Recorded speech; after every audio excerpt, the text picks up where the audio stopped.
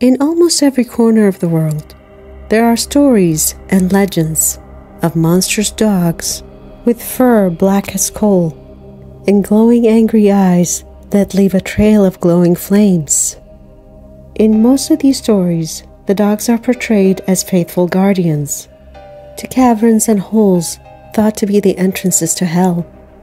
In other stories, they would be the companions to the group of apparitions known as the Wild Hunt. And then there are the terrifying encounters on abandoned roads, and even following the victims all the way to churches and attacking them there. So if you ever see a giant black dog at night, walk away in the opposite direction and don't look back.